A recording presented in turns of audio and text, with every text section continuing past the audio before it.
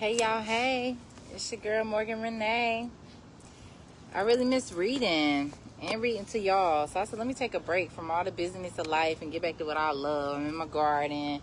It's this tree, the shade that I have the uh, cameras posted up against. Uh, it's a pollinator tree. I can't remember the name of it, but it's hella butterflies surrounding this thing right now. Hopefully, a few fly through the camera so y'all can witness it. Because uh, if I'd have tried to turn the cameras the other way, it would have been too much sun and the phones might overheat. But let's get into it. So I had started reading All About Love by Bell Hooks, probably been over a month ago now. I did the preface and the intro, which is on my YouTube channel as well. Um, so now I'm getting into the first chapter, which is called Clarity Give Love Words. And again, this is All About Love by Bell Hooks. Oh! Girl, fall in this garden. All right, let's get into it. Clarity, give love words. As a society, we are embarrassed by love. We treat it as if it were an obscenity. We reluctantly admit to it. Even saying the word makes us stumble and blush. Love is the most important thing in our lives, a passion for which we would fight or die, and yet we're reluctant to linger over its names. Without a supple, supple vocabulary, we can't even talk or think about it directly. That's a quote by Diane Ackerman. Let's see what All About Love is about by Bell Hooks. The men in my life have always been the folks who are wary of using the word love lightly. They are wary because they believe women make too much of love. And they know that we think, and they know that what we think love means is not always what they believe it means. Our confusion about what we mean when we use the word love is the source of our difficulty in loving. If our society had a commonly held understanding of the meaning of love, the act of loving would not be so mystifying.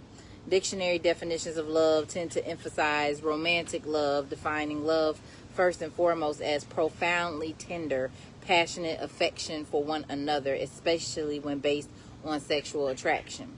Of course, other definitions let the reader know one may have such feelings within a context that is not sexual. However, deep affection does not really adequately describe love's meaning. The vast majority of books on the subject of love work hard to avoid giving clear definitions. In the introduction to Diane Ackerman's A Natural History of Love, she declares love is the great intangible. A few sentences down from this, she suggests everyone admits that love is wonderful and necessary, yet no one can agree on what it is. Coyly, she adds, we use the word love in such a sloppy way that it can mean almost nothing or absolutely everything. No definition ever appears in her book that would help anyone trying to learn the art of loving. Yet, she is not alone in writing of love in ways that cloud our understanding. When the very meaning of the word is cloaked in mystery, it should not come as a surprise that most people find it hard to define what they mean when they use the word love. Imagine how much easier it would be for us to learn how to love if we began with a shared definition. The word love is most often defined as a noun, yet all the more astute theorists of love acknowledge that we would all love better if we used it as a verb.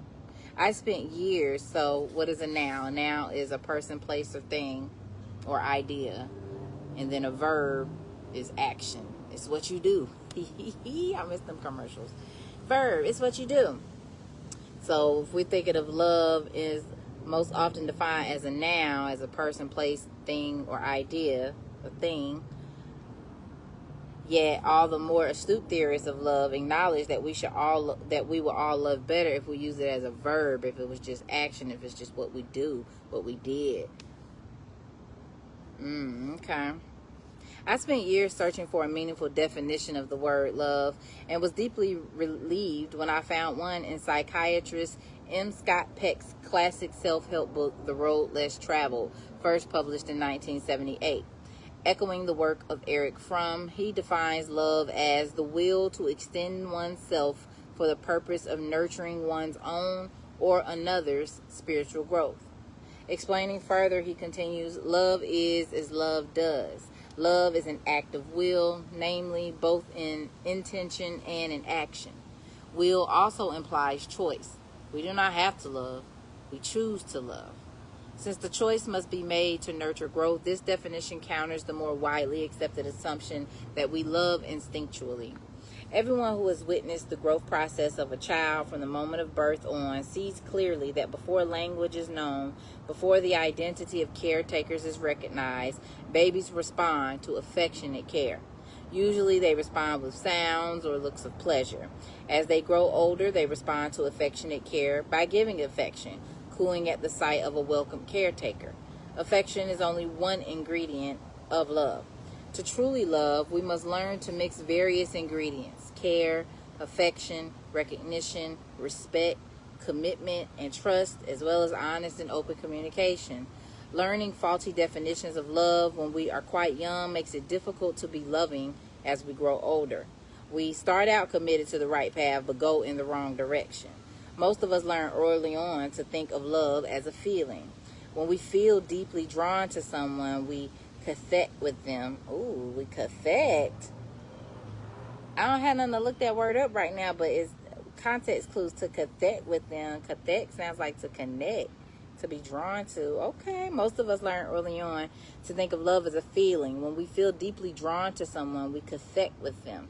That is, we invest feeling or emotion in them. Okay, to invest cathect, to invoke feeling or emotion. Is that the definition? That process of investment wherein a loved one becomes important to us is called cathexis. In his book, Peck rightly emphasizes, and she's referring to the road less traveled. Um, in his book, Peck rightly emphasizes that most of us confuse cathecting, cathecting with loving. We all know how often individuals feeling connected to someone through the process of cathecting, cathecting insist that they love the other Hold on. Insist that they love the other person even if they are hurting or neglecting them. Mm. You really just cathect them. I done learned a new word. So cathecting the what she say? When we cathect with them, that is we invest feelings or emotion in them. So we could be invoking feelings and emotions but that's not the same as love. Come on, bell hooks.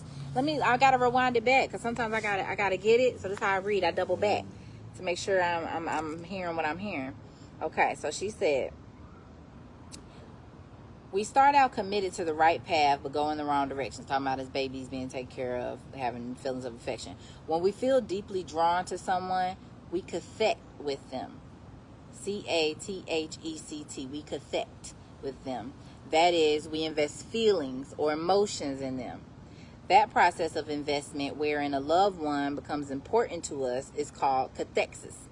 In his book, Peck rightly emphasizes that most of us confuse cathecting with loving. We all know how often individuals feeling connected to someone through the process of cathecting insist that they love the other person even if they are hurting or neglecting them. Since their feelings is that of cathexis, they insist that what they feel is love. Mm. When we understand love as the will to nurture our own and another's spiritual growth, it becomes clear that we cannot claim to love if we are hurtful and abusive. Oh, y'all see some of the butterflies that's circling around this um, bush that's covering this phone? Hopefully, it doesn't overheat. Um, wow. We understand love as the will to nurture our own and another's spiritual growth it becomes clear that we cannot claim to love if we are harmful and abusive. Love and abuse cannot coexist. Abuse and neglect are, by definition, the opposites of nurturance and care. Often we hear of a man who beats his children and wife and then goes to the corner bar and passionately proclaims how much he loves them. If you talk to the wife on a good day, she may also insist he loves her despite his violence. An overwhelming majority of us come from dysfunctional families in which we were taught we were not okay, where we were shamed, verbally and or physically abused, and emotionally neglected, even as even as we're wait a minute, that don't sound right to me. We come from families where we were not okay, comma, where we were shamed, comma, verbally and or physically abused, comma, and emotionally neglected, even as we're also taught to believe that we were loved. I think they meant to say we were, we are even as we are also taught to believe. Okay. Uh, for most folks, it is just too threatening to embrace a definition of love that would no longer enable us to see love as present in our families. Too many of us need to cling to a notion of love that either makes abuse acceptable or at least makes it seem that whatever happened was not that bad. Raised in a family in which aggressive shaming and verbal humiliation coexisted with lots of affection and care, I had difficulty embracing the term dysfunctional. Since I felt and still feel attached to my parents and siblings, proud of all the positive dimensions of our family. I did not want to describe us by using a term that implied our life together had been all negative or bad. I did not want my parents to think I was disparaging them. I was appreciative of all the good things that they had given in the family. With therapeutic help, I was able to see the term dysfunctional as a useful description and not as an absolute negative judgment. My family of origin provided throughout my childhood a dysfunctional setting, and it remains one. This does not mean that it is not also a setting in which affection, delight, and care are present. On any day in my family of origin, I might have been given care and attention wherein my being a smart girl was affirmed and encouraged. Then, hours later, I will be told that it was precisely because I thought I was so smart that I was likely to go crazy and be put in a mental institution where, no one would visit me. Not surprisingly, this odd mixture of care and unkindness did not positively does not mean we are loving. Let me run that back. I am grateful to have been raised in a family that was caring and strongly believe that my parents, that had my parents been loved well by their parents, they would have given that love to their children. They gave what they had been given care. Remember, care is a dimension of love, but simply giving care does not mean we are loving. Like many adults who were verbally and or physically abused as children, I spent a lot of my life trying to deny the bad things that had happened, trying to cling only to the memory of good and delicious moments in which I had known care. In my case, the more successful I became, the more I wanted to cease speaking the truth about my childhood. Often, critics of self help literature and recovery programs like to make it seem that far too many of us are eager to embrace the belief that our families of origins were, are, or remain dysfunctional and lacking in love. But I have found that, like myself, most people, whether raised in an excessively violent or abusive home or not, shy away from embracing any negative critique about our experiences. Usually, it requires some therapeutic intervention, whether through literature that teaches and enlightens us or therapy, before many of us can even begin to critically examine childhood experiences and acknowledge the ways in which they have had an impact on our adult behavior. Most of us find it difficult to accept the definition of love that says we are never loved in a context where there is abuse. Most psychologically and or physically abused children have been taught by parenting adults that love can coexist with abuse, and in extreme cases that abuse is an expression of love. This faulty thinking often shapes our adult perceptions of love. So that, so that just as we could cling to the notion that those who hurt us as children loved us, we try to rationalize being hurt by other adults by insisting that they love us. In my case, many of the negative shaming practices I was subjected to in childhood continue in my romantic adult relationships. Initially, I did not want to accept a definition of love that would also compel me to face the possibility that I had not known love in the relationships that were most primary to me. Years of therapy and critical reflection enabled me to accept that there is no stigma attached to acknowledging a lack of love in one's primary relationships. And if one's goal is self recovery, to be well in one's soul, honestly and realistically confronting lovelessness is part of the healing process.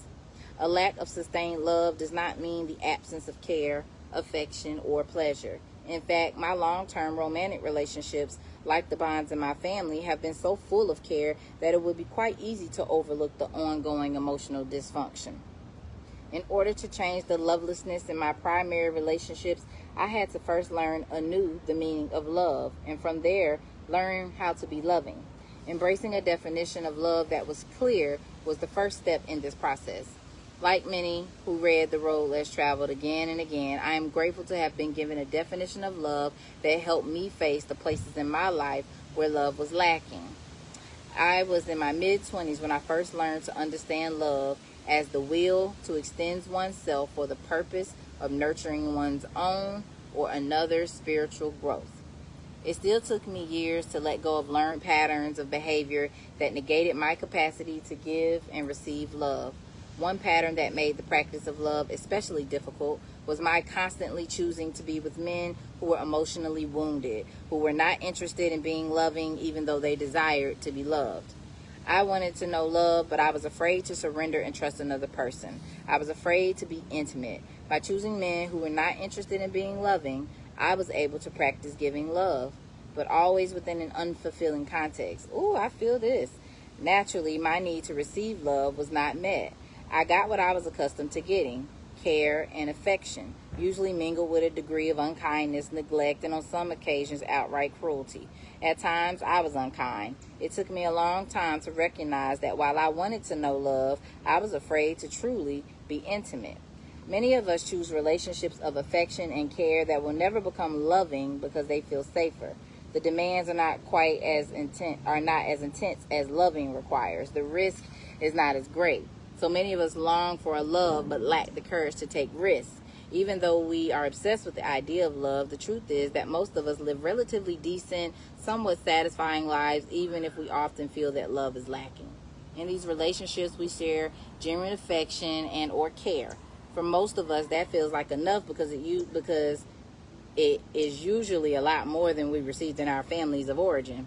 Undoubtedly, many of us are more comfortable with the notion that love can mean anything to anybody precisely because when we define it with precision and clarity, it brings us face to face with our lacks, with terrible alienation.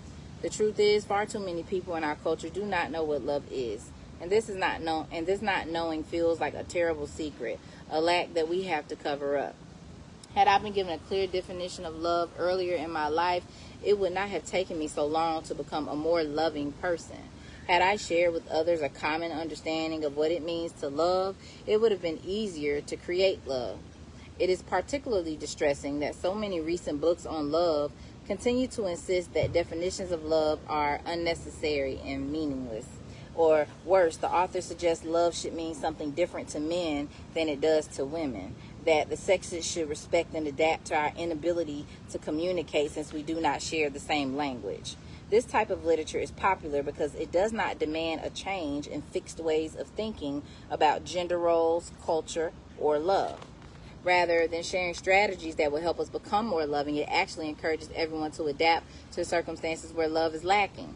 Women, more so than men, rush out to purchase this literature. We do so because collectively we are concerned about lovelessness since many women believe they will never know fulfilling love, they are willing to settle for strategies that help ease the pain and increase the peace, pleasure, and playfulness in existing relationships, particularly romantic ones. No vehicle in our culture exists for readers to talk back to the writers of this literature, and we do not really know if it has been truly useful, if it promotes constructive change. The fact that women more than men buy self-help books using our consumer dollars to keep specific books on bestseller lists is no indication that these books actually help transform our lives. I have bought tons of self-help books, only a very few have really made a difference in my life. This is true for many readers. The lack of ongoing public discussion and public policy about the practice of love in our culture and in our lives means that we still look to books as a primary source of guidance and direction. Large numbers of readers embrace Peck's definition of love and are applying it to their lives in ways that are helpful and transformative. We can spread the word by evoking this definition in day to day conversations, not just when we talk to other adults, but in conversations with children and teenagers. When we intervene on mystifying assumptions that love cannot be defined by offering workable, useful definitions, we are already creating a context where love can begin to flourish. Some folks have difficulty with Peck's definition of love because he uses the word spiritual. He is referring to that dimension of our core reality where mind, body, and spirit are one. An individual does not need to be a believer in a religion to embrace the idea that there is an animating principle in the self, a life, a life force. Some of us call it soul. That, when nurtured, enhances our capacity to be more fully self actualized and able to engage in communion with the world around us. To begin by always thinking of love as an action rather than a feeling is one way in which anyone using the word in this manner automatically assumes accountability and responsibility. We are often taught we have no control of our feelings, yet most of us accept that we choose our actions, that intention and will inform what we do. We also accept that our actions have consequences. To think of actions shaping feelings is one way to rid ourselves of conveniently accepted assumptions such as that parents love their children or that one simply falls in love without exercising will or choice. That there are such things as crimes of passion, i.e., he killed her because he loved her so much. If we were constantly remembering that love is as love does, we would not use the word in a manner that devalues and degrades its meaning. When we are loving, we openly and honestly express care, affection, responsibility, respect, commitment, and trust. Definitions are vital starting points for the imagination. What we cannot imagine cannot come into being. A good definition marks our starting point and lets us know where we want to end up. As we move forward, our desired destination, we chart the journey, creating a map. We need a map to guide us on our journey to love. Excuse me, starting with the place where we know what we mean when we speak of love. Okay, bell hooks. She's she's coming. She's opening this thing up. We don't even know what love is. We gotta come to common ground on definition. Love is as love does. Uh, okay, I'm here for it. So that was chapter one. Clarity, love, give, give love words. Um, we'll be reading more of this. Thank y'all for tuning in. I hope y'all have an amazing rest of y'all day. If you're on Facebook or Instagram watching this, you can follow my YouTube under my name, Morgan Myers, or type in story time with more of my. I'll pop right up. Go ahead, subscribe so you can keep up with these reads. All right, peace and love.